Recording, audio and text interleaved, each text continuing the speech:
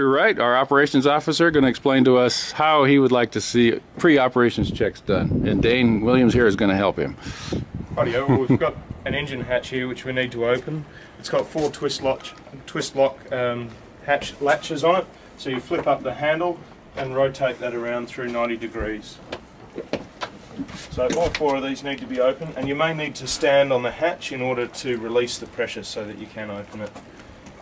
Grasping with two people, one in opposite corners, you can lift the hatch and carefully place it down on the deck and lean it against the tow post.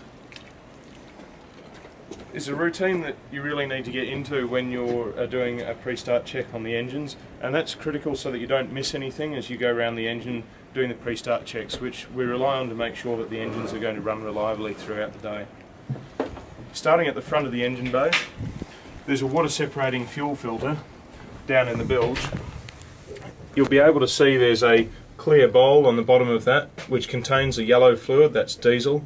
You need to inspect that to make sure there's no evidence of water or sludge, green sludge down in the, in the bottom of that bowl.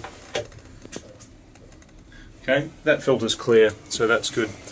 Now the next thing that we need to look at is the belt on the front of the engine. The port engine has one belt only and the starboard engine has two belts. It's inspected by lying on the front of the, uh, lying down on the engine and checking the tension on the belt by hand. If the belt's loose, you'll notice that there'll be black dust around the side of the engine bay. That's a good indication that there's something wrong with the belt.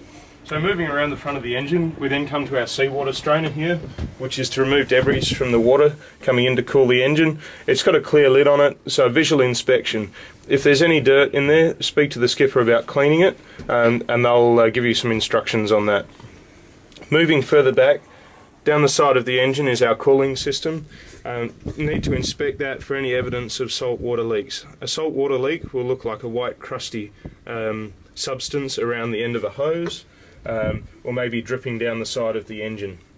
The other thing that we've got here is the engine oil uh, dipstick to check the oil level.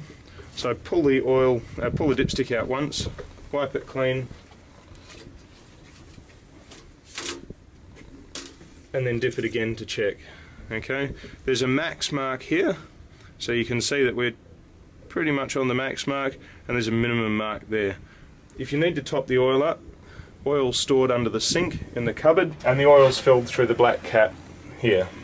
Okay. Also at the front of the engine we have our coolant. Coolant is under the yellow cap at the front, and there's two steps inside the cap. The coolant level should be level with the top step. If the coolant level is low, uh, additional coolant can be found also under the sink, and you must use the VCS yellow coolant. The bottle is clearly labelled. right, yeah. Moving further back, we have a power steering reservoir hanging off the side of the boat and it's directly above the steering control unit.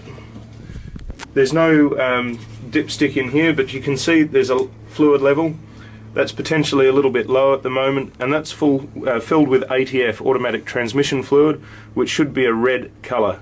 Um, if that fluid in there is milky there's something wrong. Whilst we're here we've noticed that we've got a salt water leak from the end of the intercooler and we'll report that to maintenance to be rectified during the week. Further aft we've got our power trim fluid reservoir. Again that's a red coloured fluid it takes ATF also, and it has a min and a max marking on the front of the bottle for reference. Just make sure that the leg is tilted fully down when you're reading that fluid level. The last two things that we need to do is to check the bilge pump. Thanks, Dane. And the assistant? Yep. Um, and down here under the engine we've got two float switches. So the one on the side is a high water alarm, and if you lift that up with a boat hook, which is found near the cabin door, you can hear an audible alarm from the dash.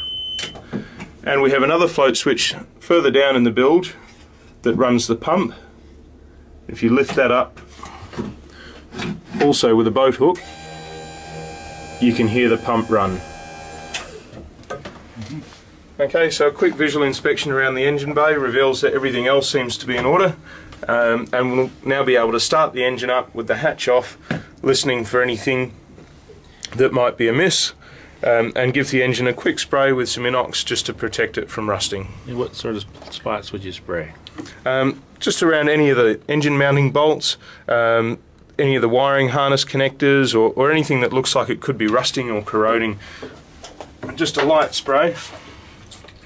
Try and avoid the hoses because the inox will damage the hose.